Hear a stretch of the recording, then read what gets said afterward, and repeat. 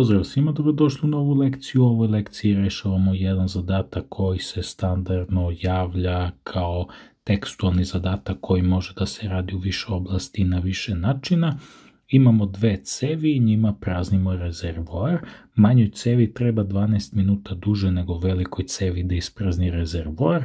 Sa obe cevi rezervoar može da se isprazni za 1,75 minuta, koliko će nam vremena trebati da samo sa malom cevi ispraznimo ceo rezervoar.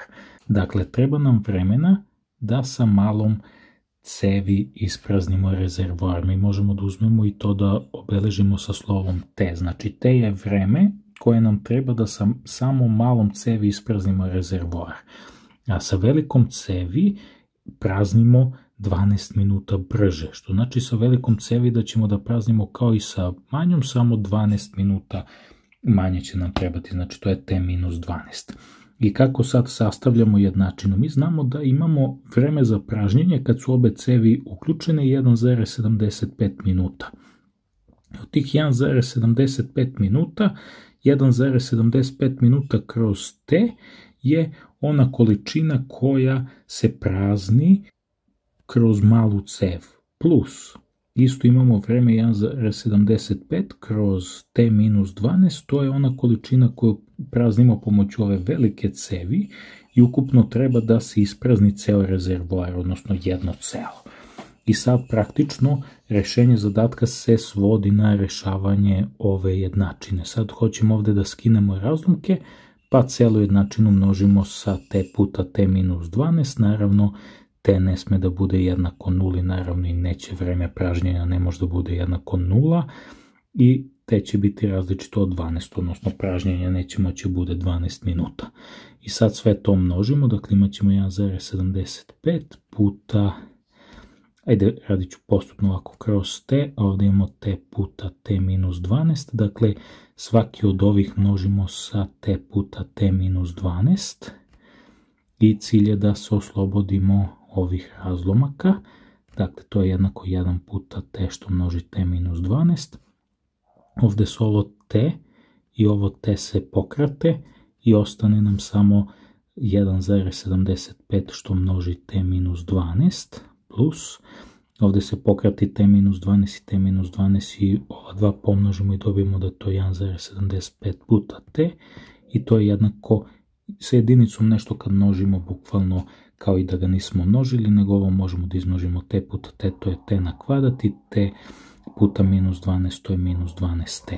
I sad uzmemo sad malo ovo sredimo, dakle množimo ovde ovo 1,75 sa t, to će biti 1,75t, množimo 1,75 puta minus 12, to će biti minus 21, imamo ovde plus 1,75t, da je jednako t na kvadrat minus 12, t, odnosno ovo 1,75, 1,75 to je 3,5, znači 3,5 t, minus 21 jednako t na kvadrat minus 12t, sve prebacimo da nam bude sa desne strane jednačine, pa će to biti t na kvadrat minus 12t minus 3,5t plus 21 da je jednako nuli, odnosno Sada ćemo imati situaciju, ajde nastavit ću zadatak. Ovde, da je t na kvadrat minus 15,5t plus 21 jednako nuli,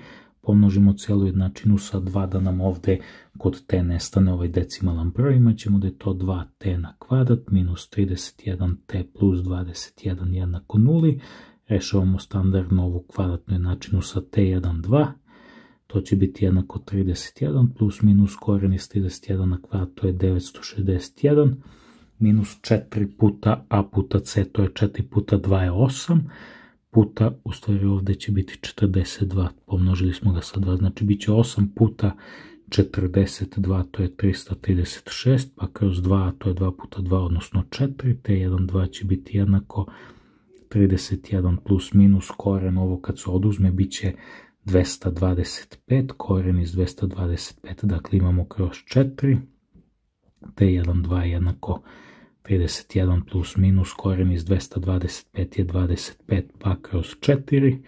Prvo rešenje je 31 plus 25 to je 56 pa kroz 4, 56 pa kroz 4 to je 14, a drugo rješenje je 31 minus 25 to je 6 pa kroz 4.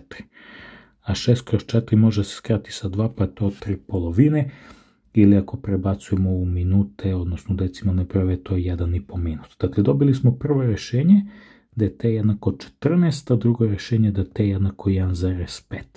Ovo rješenje t jednako 1,5 odbacujemo jer ako mala pumpa prazni bazen sa 1,5 minuta, velika treba da prazni 12 minuta brže. Pa ne možemo mi od 1,5 minuta da oduzmemo 12 minuta da bismo dobili koliko ova veća pumpa prazni, tako da to rješenje odbacujemo, nego prihvatamo ovo rješenje 14. Dakle, 14 minuta nam je potrebno da samo sa malom ovom cevi ispraznimo ceo rezervoar, što znači sa velikom cevi da će nam trebati 12 minuta kraće, odnosno samo 2 minuta. To je to što se tiče ovog zadatka. Pozdrav!